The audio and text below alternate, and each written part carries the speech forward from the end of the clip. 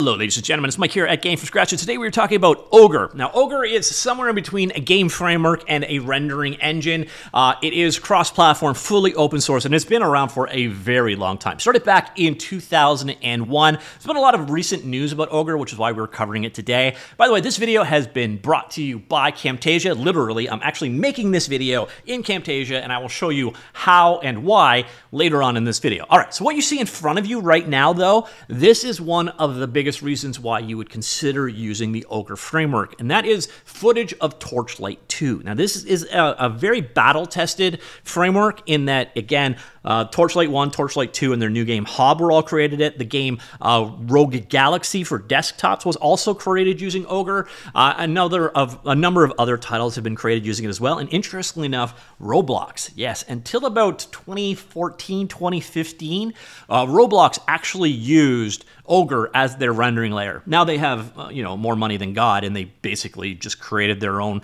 uh, framework in house. But this is the technology that um, Roblox basically grew up around. So lots to go on with Ogre. If you want to go ahead and check it out, available at ogre3d.org.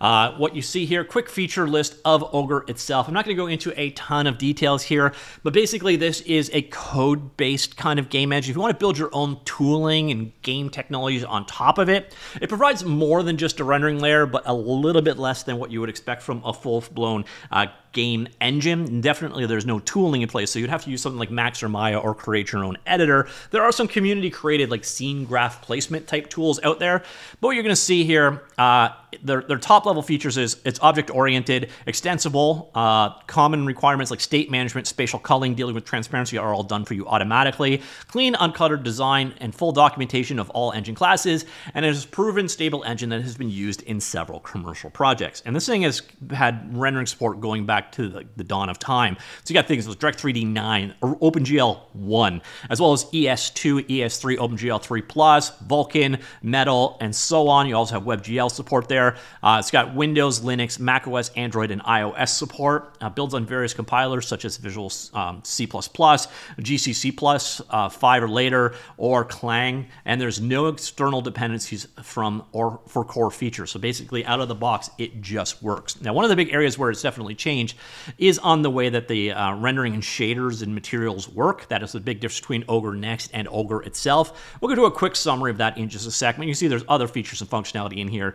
Uh, support for a variety of different mesh types, including uh, use of the Assimp uh, importer to bring in commonly imported file formats. You do have animation support, a number of scene management features as well there. So you've got scene graph is handled for you using a hierarchical scene graph. And the scene graph is pretty much like the data structure for all the, the stuff that basically generates your game world. Plus, you've got a special effects system, including com um, compositor, editor, particle systems, etc. Actually, let's just do a quick demo. This, for example, is what you get if you download the um, uh, binary version of the SDK. A number of compiled samples for you. We'll go ahead and look at the um, post-processing example.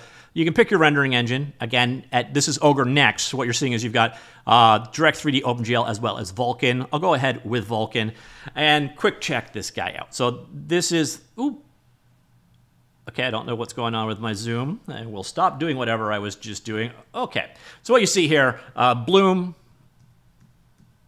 radial blur, glass, dithering, old TV, tiling, old movie, motion blur with bloom. Let's go to the second scene. We can sharpen our edges. We can actually render as ASCII if we really want to do so. Uh, Laplace, half toning, black and white, night vision, posterizing, embossing, and finally inversion. So that gives you an idea, kind of some of the, the compositing effects that are built into uh, this guy out of the box. So that is some of the samples you get if you go ahead and download Ogre uh, precompiled binaries already built for you. Uh, so that was the Ogre's base features and functionality there. Uh, there is a split now, and this is where it gets a little confusing. Ogre, again, started life back in 2001, and parts of it are definitely going to get a little bit long in the tooth, especially because of the way that we program graphics, like literally the way that GPUs work. We moved from a fixed function to a programmable pipeline.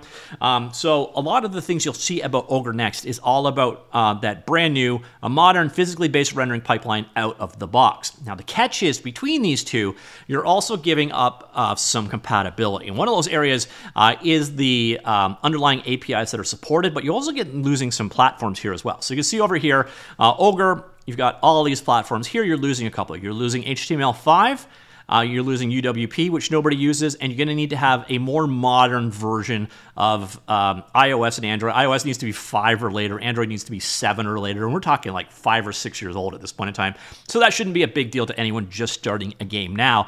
You also notice some of the rendering technology is gone. Direct 3D 9 OpenGL ES, OpenGL 1. So if you have some absolutely ancient hardware, it isn't going to be supported. But where it really kind of gets, you're going to notice over here, all these components and plugins haven't necessarily been ported yet. So you got definitely more more of an ecosystem around the original Ogre than you do around the Ogre Next branch. Uh, and then on top of that, no language bindings. So you use Ogre with C Sharp, Java, and Python, whereas for Ogre Next, C++ only, at least at this point in time. Uh, and then we move on to some of the functionality between the material system, lighting, and documentation change. So it was a fixed function pipeline previously. And now it's it's moved on to a new approach to doing things, and you're getting uh, a lot of functionality that you know you, Ogre, the original Ogre, is going to be missing things that you, you kind of consider modern and current. Things like global illumination, screen space reflection, ambient occlusion, and so on. But the big thing that you're losing again, a lot of these things haven't been ported over. And also, just be aware of this. Ogre is well documented, has a very strong history of support. Ogre Next is more of that bleeding edge thing. So definitely know uh, you're giving some stuff up to have that more modern rendering functionality you get with Ogre Next over Ogre. Um, in terms of Ogre itself, uh, they just released, well, just recently, so uh, about two weeks ago, they released Ogre Next 3. So Ogre is up to 3.0 version wise. This version was about um, kind of re architecting things. They actually switched to, get this one, C 11. So things don't move exceedingly fast from a techno- technological side of things uh, when it comes to Ogre itself, uh, but they've switched over to um, C++ 11, so about easier maintenance and porting to newer versions. They got rid of a ton of the warnings and errors that might have existed. Um, and then there's also some PBR PBS changes to match what other engines are doing with compatibility functions to restore the old look. But they also have Ogre Next 4, which is also in development. So again, you have the Ogre Next branch, which is the um, more current cutting edge version of Ogre. Ogre continues to get updates, so there was Ogre 14ish or something like that was released just a couple of months back. And then you've also got Ogre Next 4, which you can think of as the development branch of the development branch, which gets a little confusing at this point in time. Uh, and this has actually been in development for um, a year now. So once 3.0 stabilized, 4 is out there. So this is not a framework that moves at a lightning pace, but it is battle tested and mature by the time it gets there. And then what they're looking at in Ogre Next is multi-threaded shader compilation and PSO generation. So it's greatly speeding up shader compilation, app loading, and reducing stutter. It's available for Vulkan, and metal, metal rendering. So I think we're going to be moving away from the Direct 3D 11 side of things with features going forward. Uh, Particle Effects 2 plugin. So the original Particle Effects will uh, not be deprecated though. So they serve different means, have different functionality. So focus on performance, parallel CPU simulation, and vertex shader based geometry generation, and alpha hashing, alpha hashing with A2C, alpha to coverage. Um, so yeah, that's what's all about uh, in development with Ogre Next 4, the just released version of Ogre Next 3. I know it all gets quite confusing. Uh, and if you're interested, again, entirely open source projects, they're all under the same parent, which is uh, the Ogre Cave on GitHub. So you can see there's a repository for Ogre, which is under the MIT license. And you can see here the original Ogre still getting very uh, validly updated. So 14.3.1 was released just last week. People are doing commits near constantly to the original Ogre. But if you want to use like a more modern rendering approach, we do have Ogre Next, which again is getting pretty constant updates. This is where the 3.0 release was just occurred like two weeks ago. Um, so you get an idea how long this project has been around. This is a 12 year old project for the next version.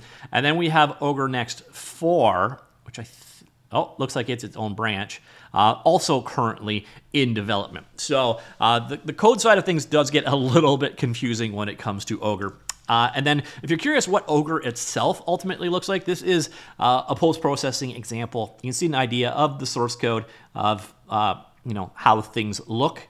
So again, object-oriented in its approach, uh, inheriting from graphic system, uh, and then yeah, that's this is a, example of Ogre Next code, pretty straightforward. Uh, go over here and see the other part of this example.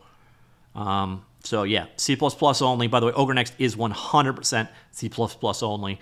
Uh, and one of those things here is you're not going to want to use Ogre Next unless you're comfortable with the idea of you know going through source code to figure things out because the the stable documentation the published books and all that are for the original ogre now they're based off each other so you should be pretty comfortable using one if you came from the other all right, so that is, ladies and gentlemen, Ogre, Ogre Next, Ogre Next 3, Ogre Next 4. I know it's all quite confusing. The thing you just want to keep in mind is this thing is a very battle-tested option. So if you're wanting to work a little bit more at the source code level, could be an interesting one to look at. So this video has been brought to you by Camtasia, uh, both as a sponsor and as you can see, actually literally being created right now in Camtasia. This is a tool I've used since I founded this channel and I've never had any regrets. It just makes the stuff that I need to do super, super easy and it also incredibly fast from the workflow. I don't really need to explain it that much because you can literally see it happening as I speak. If you're interested in going ahead to check out Camtasia, they have a fully functioning trial that is just watermarked so you can get an idea of everything it does. If you want to buy it, use the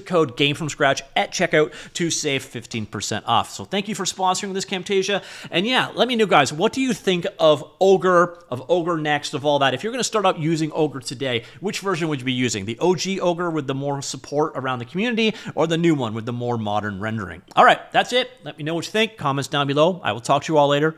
Goodbye.